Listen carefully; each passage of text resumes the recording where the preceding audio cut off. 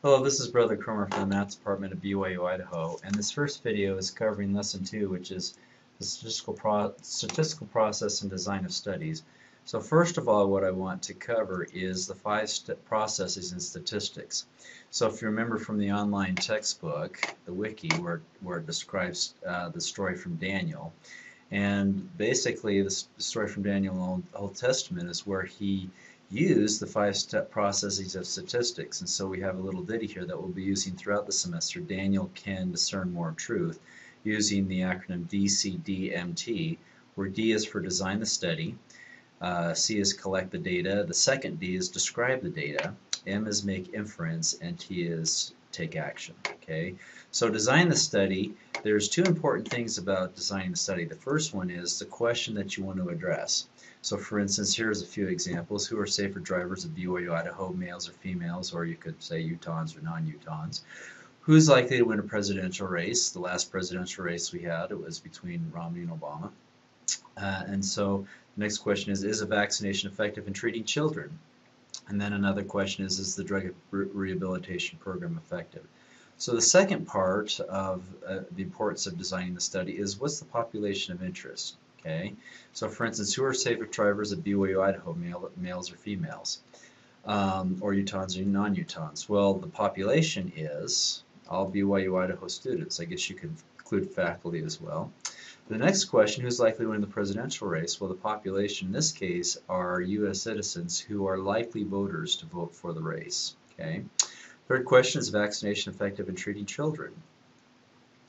Well, in that one, some students may feel like that it's actually the parents or the or the uh, or the physicians, but in actuality, the, it is the children. It's those. It's the children are being measured in terms of whether or not the vaccination is effective. And then lastly, is the drug re re rehabilitation program effective? In this case, it is drug addicts, those who are trying to recover from from their addiction. Now the question is, is it feasible to get data from everybody? Well, it isn't, so that's why we, we obtain a sample. So that goes to our next step here is collecting the data. We collect a sample from our data based on how we design the study. So it's really important to know what your question is and then what the population is. Then step three is describe the data and here are some examples of uh, descriptive statistics. And so here's a, here's a bar chart and a, and a, and a, and a pie chart. These are examples of graphical descriptive statistics. There's also numerical descriptive statistics where we have an average, a median, a percentage, and, and another thing that's called a correlation, which we'll cover in a later uh, lesson. Okay, so there are so there's two different types of descriptive statistics: graphical and numerical. And then step number four is where we talk about where we talk about make inference. And so, what is inference? And inference is basically where we take something from our sample, and if you look where my cursor is, we take something from our sample and we and we infer or we make a decision about the population based off the sample. So if we take a small sample, uh, we take something that's smaller than the population, we're going to say, well, based on our sample, we think that this is this is uh, representative of the population. So for instance, at the very bottom, we could take a sample of the U.S. and find that 49% of the sample would vote for Obama we would infer this percent with the margin of error, which we'll talk about in a later lesson, to the whole population of the United States. This inf inference is different than deduction. Deduction is where we're taking something large and then we're making and then we're we're making a uh, something small. We're, we're saying, for instance, we have this big equation and then at the end we have something that says x equals 2. Okay. With inference, we're taking something small and we are saying, well, based on this sample that's small, we're going to take, we're going to infer to the entire population. Okay. So then finally, the last thing is is that we get we we take action. That's the very last step. And so based on your results, you want to take action. Based on you, it, it could be merely publishing your results or making a recommendation based on the results that you have. Okay.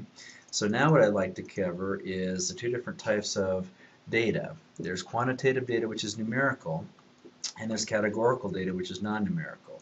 So quantitative, some examples of that are height, body temperature, cost of new medical equipment, the number of siblings in your family, or it could be a typical questionnaire rating from 1 to 7.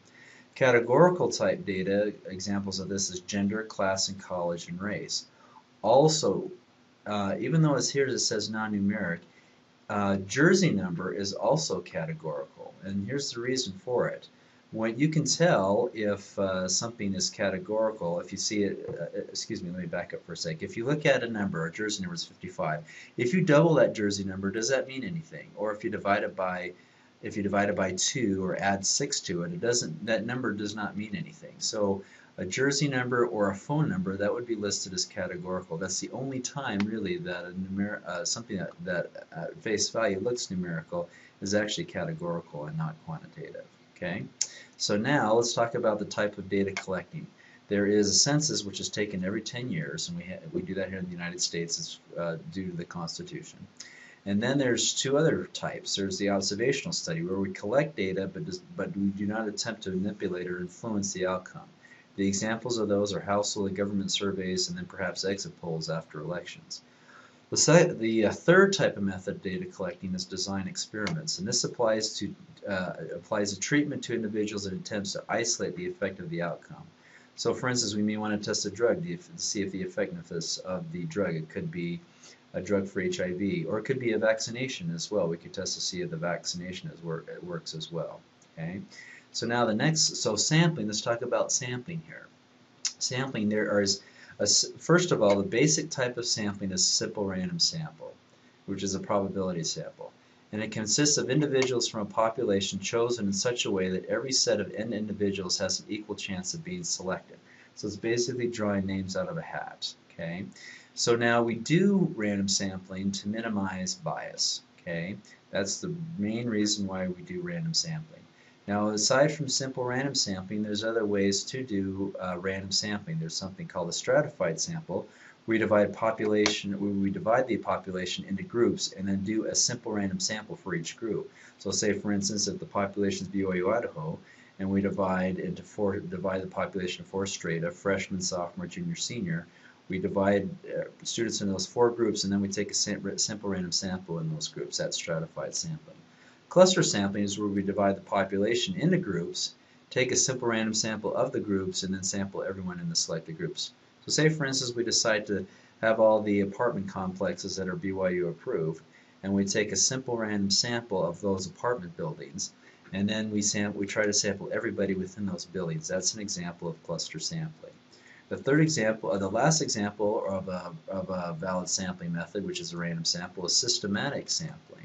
And that's where we select every kth individual and then we choose the first person with the random start. Typically you do this is that uh, if you're if you're standing say by the devotional and you want to do a survey before they walk in a devotional, you sample say one out of every five or six students that walk by. But before you do that, you have to take what's called a random start. So say for instance you do a one in six sample, say if you roll the dice and it comes out to be three, you would sample the third person that walks by you first, and then you do every sixth person after that. So you do the third person, the ninth person, and the fifteenth person. Okay. So systematic sampling, cluster sampling, stratified sampling, and simple, simple random sampling are four methods of doing a random sample that we cover in this class. There is also invalid sampling methods. So what I mean by that is where it can introduce bias. There's something called a voluntary response sampling. And typically you see that when you see online polls where it asks you to take a survey. Usually those, uh, the reason why those are introduced bias is those that take the survey, usually the ones that feel very strongly one way or the other about a certain issue. And so you don't usually get the people who are in the golden middle, if that makes sense. And then also convenience sampling. And convenience sampling is where, for instance, you might see that at a at a mall where someone uh, grabs whoever they can to take a uh, to take an advertising or a marketing survey. And those are examples of invalid sampling methods. So I'll continue with this uh, video, wrapping it up with experimental design.